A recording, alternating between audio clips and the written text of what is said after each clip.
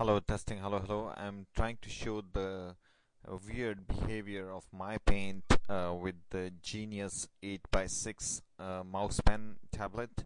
I'm using that tablet, and the weird thing is that it looks like it, there's some sort of x uh, axis scaling going on on my, in MyPaint, and it's actually causing it to scale down the x-axis movement movement along the x-axis so I'll show you. So I, my cursor is right here at the at one end of the screen and I'll, I'm gonna move it all the way to the other end of the screen and and you'll see that it will barely move uh, on the uh, on on on the canvas. So I've just pressed my pen and I'm moving and nothing is showing up and now something started showing up. And then if I keep on moving see how little it is moving over there and then I go all the way to the other part of the screen and you cannot see the line over there and it's still mm, drawing the line but it's lagging behind a lot. So now I'm going back and I'll show you where it is. See it drew I went all the way across the screen but it all it did was it drew this much line.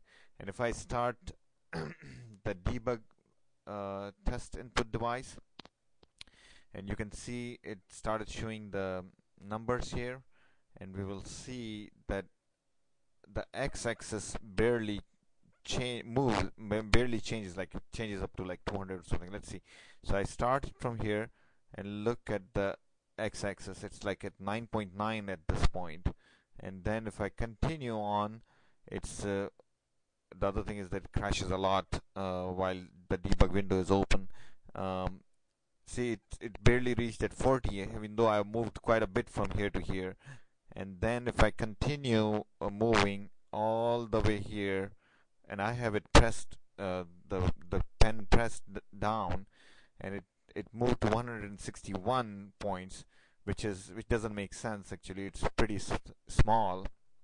And if I go all the way to the other end of the screen it it hardly got to 500 and uh, well it's it went to 599 which is really good 1622 but if I go back to the it probably because it went outside the screen um, so if I as soon as I get inside the screen see it's showing only 200 and if I go outside the screen it's actually